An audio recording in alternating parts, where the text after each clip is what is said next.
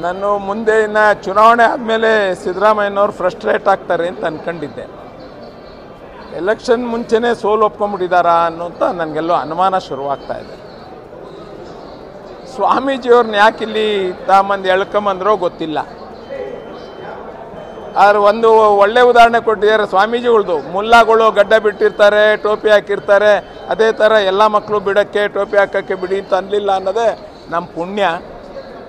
ಈ ಥರದ್ದು ಸಿದ್ದರಾಮಯ್ಯನವರಂಥ ಒಬ್ಬ ಒಳ್ಳೆಯ ರಾಜಕಾರಣಿ ಒಳ್ಳೆಯ ನಾಯಕ, ರಾಜ್ಯ ಕಂಡಂಥ ಒಬ್ಬ ಒಳ್ಳೆಯ ಸಿ ಎಂ ಈ ಥರ ಅನ್ನೆಸಸರಿ ವೋಟ್ ಬ್ಯಾಂಕ್ ಪಾಲಿಟಿಕ್ಸನ್ನು ಮಾಡಬಾರ್ದು.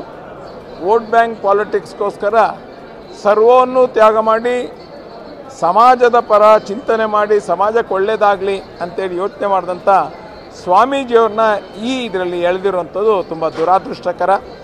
ನಾನು ಸಿದ್ದರಾಮಯ್ಯನವ್ರನ್ನ ತಮ್ಮ ಮೂಲಕ ರಿಕ್ವೆಸ್ಟ್ ಮಾಡ್ತೀನಿ ಸ್ವಾಮೀಜಿಯವ್ರಿಗೆ ಕ್ಷಮೆ.